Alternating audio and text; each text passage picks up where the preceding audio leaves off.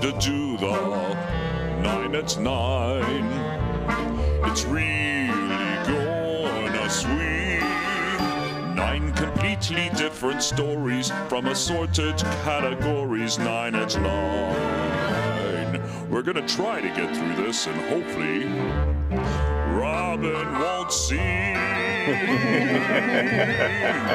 Loves it.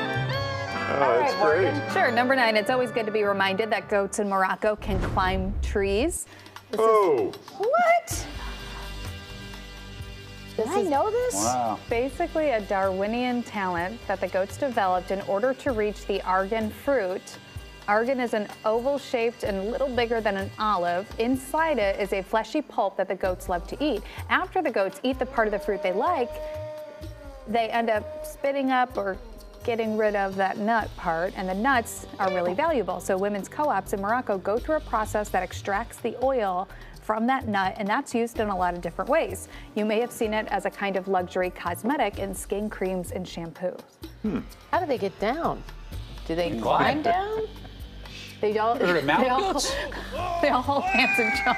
I mean, I don't know. I mean, they're walking backwards. Yeah. Their dad comes down and goes like this. Jump, little Billy. Uh, number eight, the It Fashion Boys know this already, but now all of us regular slugs can also be on trend, especially this holiday season. It's all about, is it brooches or brooches? Brooch. Brooch. It's a brooch. That's what it's called. Uh, the pearl necklaces and the statement rings as well. Wow, that's a lot. Here's how to wear this stuff if you're just a regular fella, one piece at a time. Uh, try a bejeweled pin on the lapel of your jacket, or try it on a button-down shirt. Ooh, that pops. If you're a little more bold, a pearl necklace peeking out of your sweater is just super sexy. Uh, and if you've uh, got the riz to pull it off, try a sparkly ring on your pointer finger. Or you could try a gold chain with an Italian horn and a couple of buttons on it. Never goes out of style. Never goes out of style. Uh, number seven, you're not ready to break up, but you could use some time apart. Maybe it's time to take a break. Oh, no. Relationship experts say it could be the perfect way to give you and your partner a fresh perspective. Perfect time of year, Larry. Yeah, they have some tips. My wife reminds me all the time. They say make a plan and lay things out before you take that break. Will there be zero contact? Limited communication? Can you date other people during your time apart? How long do you want your breakup to last? Uh-huh. Finally, what are your expectations? Lots of couples benefit from this time away from each other. Some use it to work on themselves, find some clarity, or Yeah. it doesn't work Yeah. and you break up. Sure. Well, there you go. Win-win. This is, this was the issue though with on Friends, Yes. right? And Yes. there wasn't any commu- the, the, You got to lay the groundwork on what it's good, but, but really you're just breaking up. Let's just call it what it is. Yeah. Right. Or we Right. could Just really break- say what it is, but we won't say it on TV. I never say, speaking of a break, oh, well, here's the classic clip There you're you go. talking about, Oh, Larry. real out. Yeah. How about that? I mean, my mom never thought this would work out.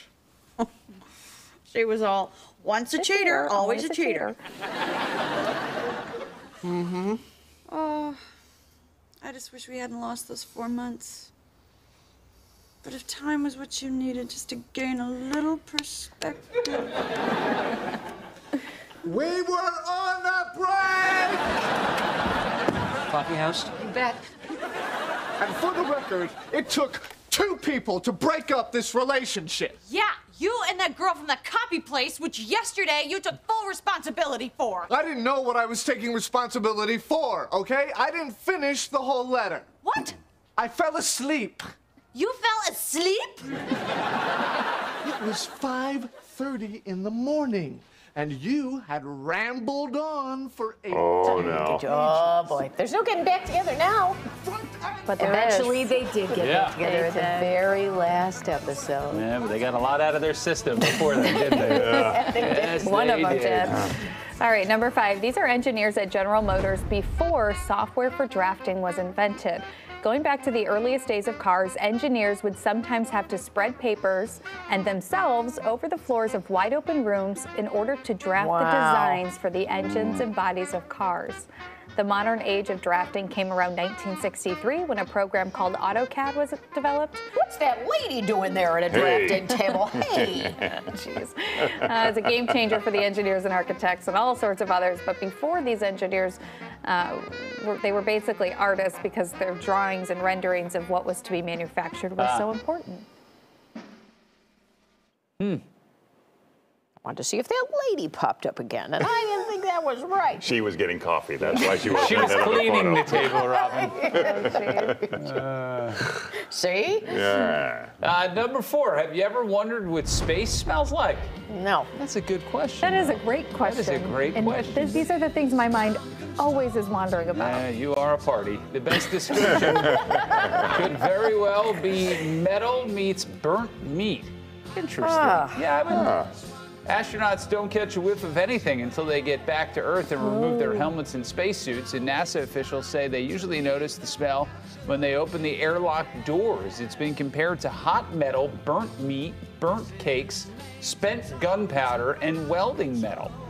No one has directly smelled space and lived to tell the tale, since uh-huh. direct exposure to that air will kill them. Yeah. So, where does that odor come from? Scientists think it may come from oxygen floating around the International Space Station, and the sun's ultraviolet rays split the oxygen molecules into atoms, and the atoms may cling to space gear and airlock walls. Or some say it could be the smell of dying stars. Uh, hmm. those are all just theories. Hmm. Interesting. Number three, look at this. It's a treadmill on wheels. Or call it a walking bike. These are made in the Netherlands, which is kind of the bike capital of the world. This is a hybrid bike. It has a battery that helps you move along as you pedal. You can go 20 miles an hour on this thing. This battery will uh, last about 50 miles. Google a company called Lopifit to find them. They cost $2,500. Look at that. Look at that. What do you think, Robin? I like it because I uh, I like walking. I don't like riding the bike, Yeah. and I could get further on the bike, but uh, You have the balance for an apparatus like that's this, the, you that could be the question. Yeah. But it looks like they might have an option for some Training, training wheels. Looks like there's room for two. Yeah, oh mm-hmm. yeah, that'd be fun. All right, number two, here's a very specific thread that someone found on Twitter. A guy got a little obsessed with the chairs at frozen yogurt shops. He noticed that there's a certain kind of late 2000s aesthetic there, so he tried to find as many as he could. Check out Evan Collins 90 on X. These are all frozen yogurt hmm.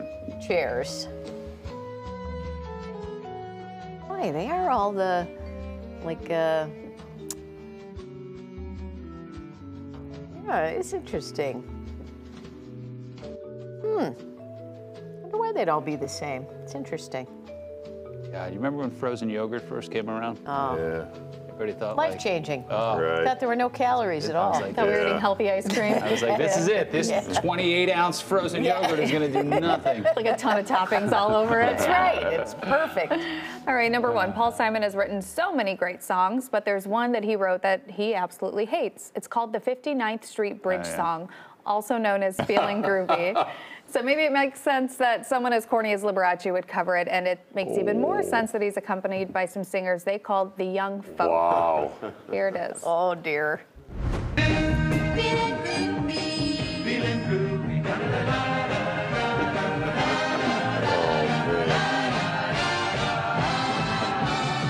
No deeds to do, no promises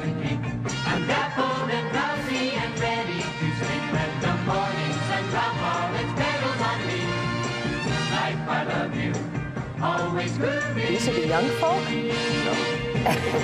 just, I just read what's in the They look prompter. like they're. Oh, Oh, here we it go. comes. Hey man, you're looking wild. Oh, you're gonna be a flower child. Yes, Join the game and sing along. We got a song for feeling groovy. Oh boy. Oh, no. Mm-hmm. Hello, young folk, what you shaking? I gotta try that scene you're making.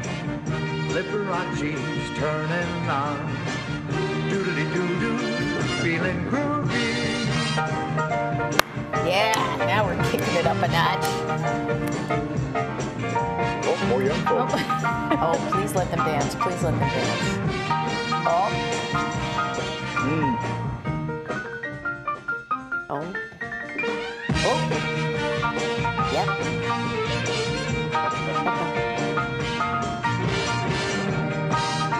Imagine Paul Simon watching this going I know, there. right? That's what I'm thinking.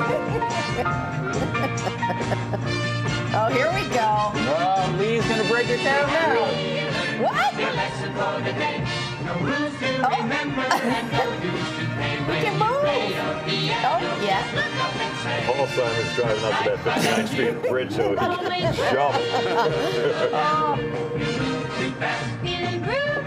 Wow. Remember how was only 43 Yeah, he looks like he's about 60. and those young folk. I hope you appreciated Art Garfunkel a lot more after this. Yeah. Wowie, that was a good nine at nine. Wow. We're gonna try to get through this and hopefully Robin won't see.